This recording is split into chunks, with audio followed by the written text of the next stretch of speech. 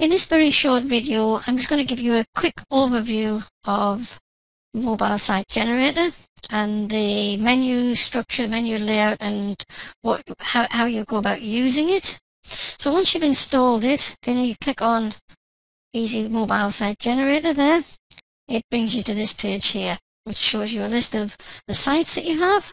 And down here you see the menu for Easy Mobile Site Generator. Um, you get to the same page if you clicked on Easy Mobile Sites. Let me just do it again. So it goes there. And here it lists a, a set of sites that I have. So I've got these five sites set up on this particular installation.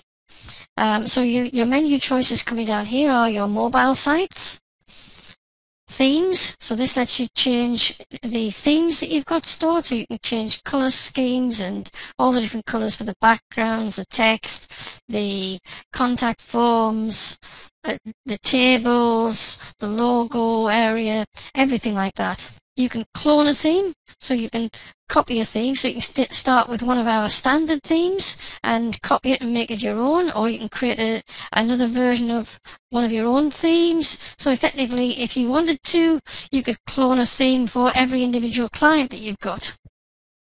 Defaults just sets up some defaults for various things like colors, um, text prompts for the contact forms, the opt-in forms, the map directions, because you can change all the words that go with all these prompts on the various forms and things like that. Updates allows you to enter your name and email address to our system to be notified of changes to the program and updates to the program when they become available. Tutorials shows you all the video tutorials of the system and walk you through all the individual stages of using Easy Mobile Site Generator. And then this last one here, current site, that one lets you uh, work on a particular site. So let me just show you quickly how that one works. Um, let's say, for instance, let's take this Enrico Pizza one. If I click on here, that takes me to the individual page for Enrico's Pizza. So I've got all my settings going down here.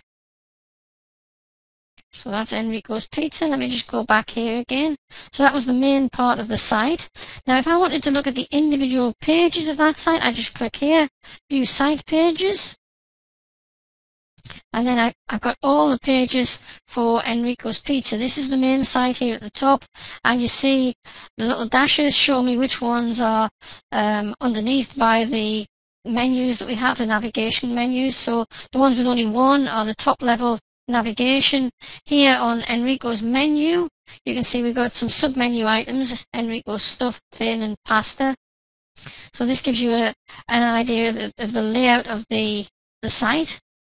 Now if I go back to mobile sites, you see I could click a different one, maybe I want to go to the wedding dresses one, but because I've already been to Enrico's Pizza, if I click current site, it immediately remembers that and takes me back to Enrico's Pizza.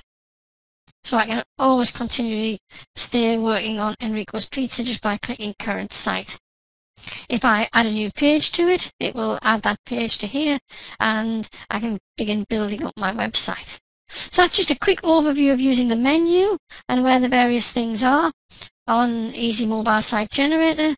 Watch the rest of the menus to get the full detail on how to use the program.